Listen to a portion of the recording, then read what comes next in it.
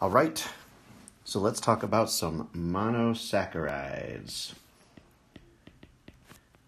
A monosaccharide is a sugar molecule that can't be broken down any further and still be a sugar molecule. So mono refers to one, and think of saccharide as sugar. So you can't break these down any further. Um, there's three examples of monosaccharides. You've heard of this one for sure, glucose. You've probably also heard of fructose. And there's one you probably haven't heard of, but maybe, and that is called galactose. And oh, you know what? There is one more, and we have to draw it, and that is ribose. So we are going to draw these two sugars right here. So let's start off by drawing glucose. Now there's a few different forms of glucose. You don't need to know all of the different forms. You just, uh, I'm just telling you that, you know, if you look up pictures of glucose, you might find one that looks a little bit different from the one I'm going to draw. And that's just because these things can be arranged in slightly different directions.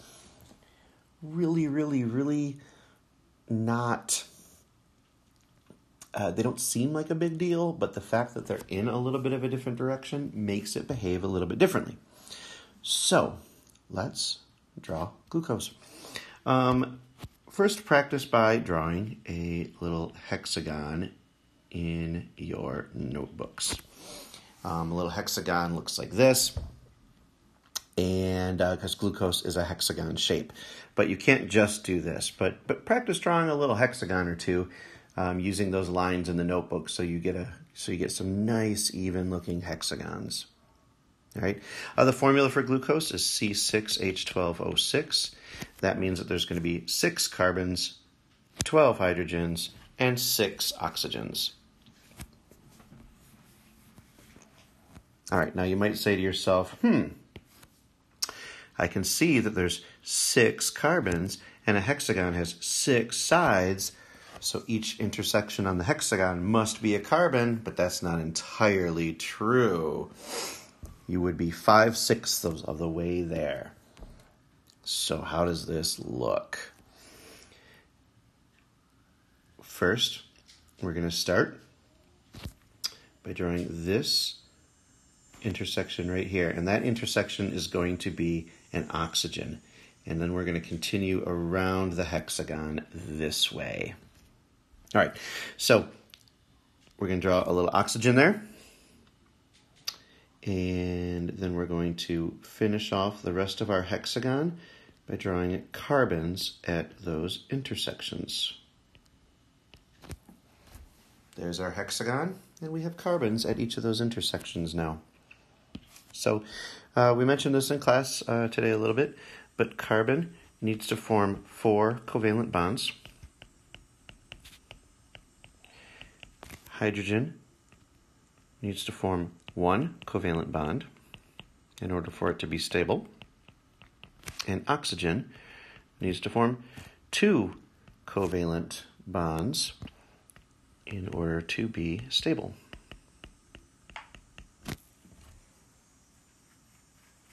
That's going to help you with figuring out where everything goes uh, in our picture here. I just realized I didn't give it myself enough space here, so I just erased that. All right, so that's uh, that's our start. We've got our oxygen over here in the corner, and then we finish off a hexagon by adding carbons at each of the points. Um, you, when you count up these carbons, you can see we have one carbon, two carbon, three carbon, four carbon, five carbon. That's not enough. So we need to add another one. So off of this, off of this top carbon, we are going to add another carbon. That gives us our, that gives us our six carbons. Okay, how are we doing so far? Good. All right, that's great. Okay, uh, there are six oxygens though, and we only have one here. So our six oxygens uh, the first one's nice and easy. The first one goes off of this top carbon right here. That's one. So we need to add four more. Uh, and these four are going to be added to these four carbons around here. Uh, the pattern that we're going to add the oxygens in is down, down, up, down, which means we're going to add an oxygen down, down, up, and down.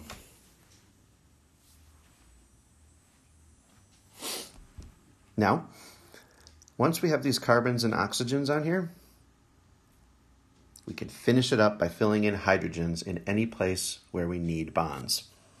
So remember, carbon needs to form four covalent bonds, and oxygen needs to form two covalent bonds. So any place we don't have oxygen with two bonds on it, or carbon with four bonds on it, we can just fill in the rest of those spaces with hydrogens. So, for example, this oxygen right here already has a covalent bond here and a covalent bond here. No need to add anything else. This oxygen here only has one covalent bond. And so we fill in and finish that in by adding a hydrogen. The same is true of all of these other oxygens. Notice that it's okay if the hydrogen is to the right or to the left. That doesn't matter. However, the up, up, down, up, I'm sorry, down, down, up, down direction does matter.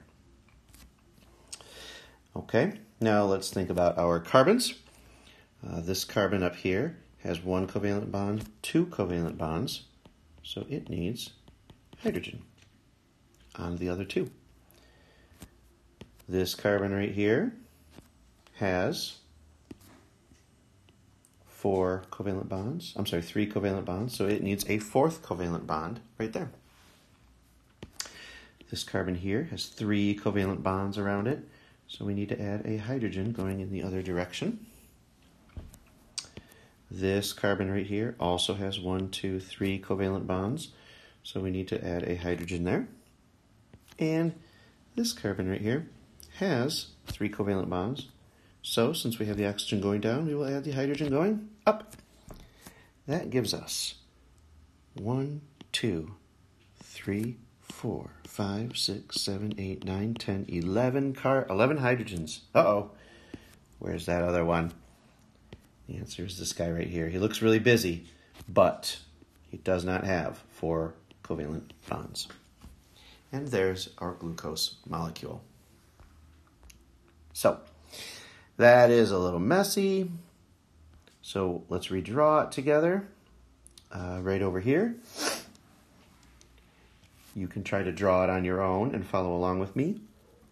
Or try it on your own and then while pausing this and then check yourself to see how you did. All right, so let's draw an oxygen and then finish off a hexagon with carbons. Toss another carbon up top. I'm going to switch colors for some things here this time. No, I won't. Never mind. Okay. Then we're going to go oxygen down, down, up, down. Notice how I'm making sure that the bond is pointing right at the carbon and not at a different bond or anything. We toss a carbon on the top. Then we've got our six oxygens and our six carbons. We add in oxygens, I'm sorry, hydrogens to the rest of our atoms to fill everything out. If you drew an oxygen going down, draw the hydrogen coming up. If you drew the oxygen going up, draw the hydrogen coming down. I believe that finishes this glucose molecule. So, the other molecule that we need to be able to draw is ribose. Ribose is a five carbon sugar.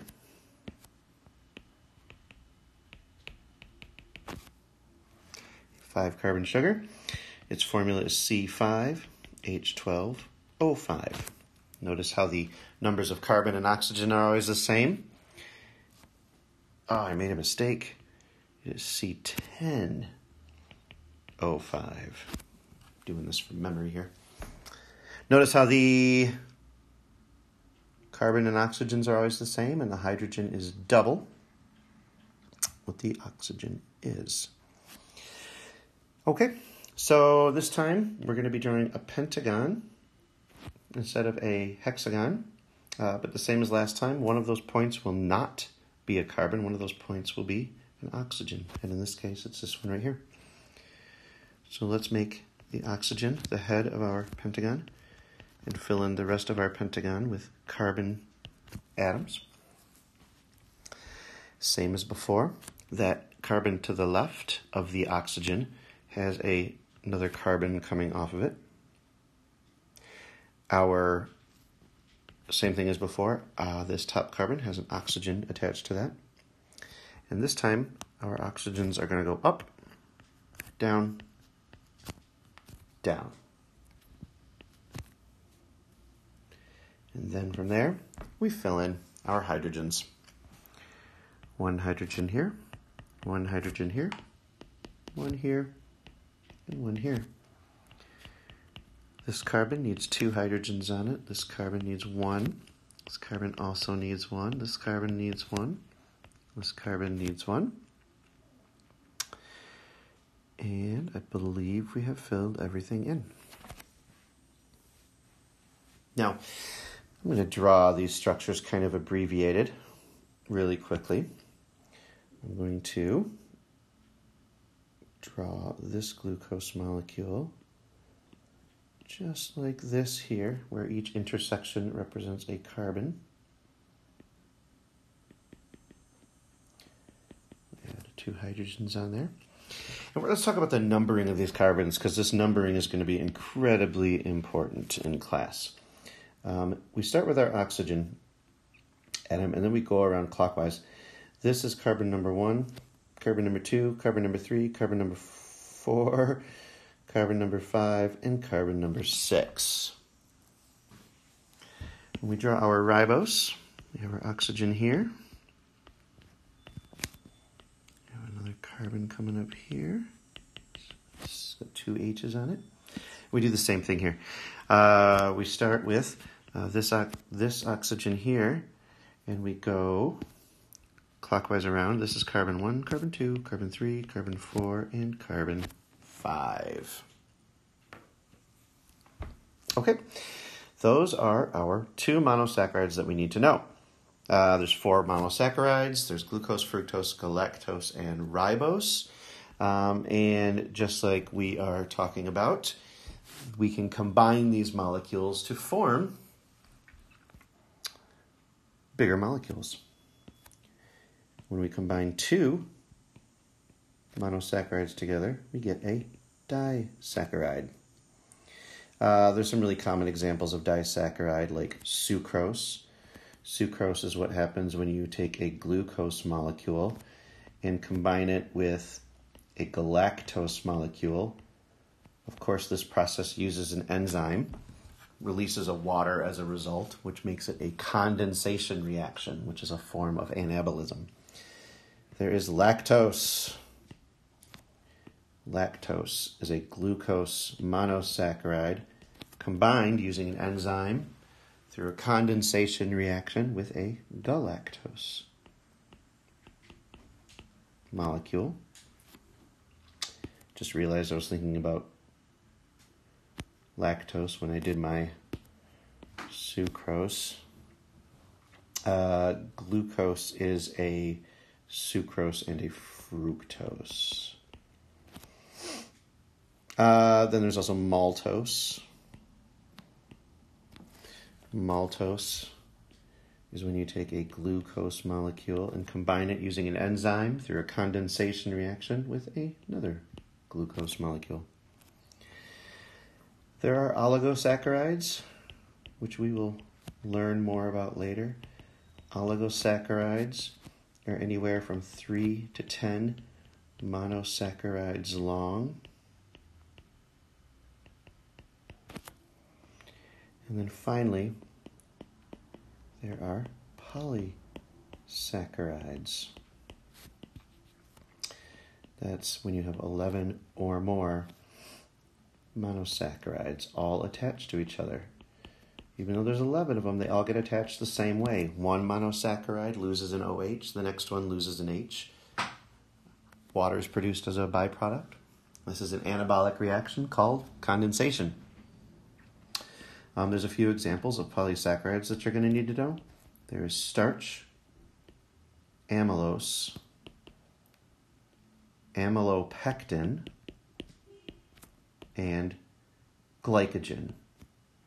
For right now, you should understand that they're more than 11 monosaccharides long and they are attached together using condensation reactions.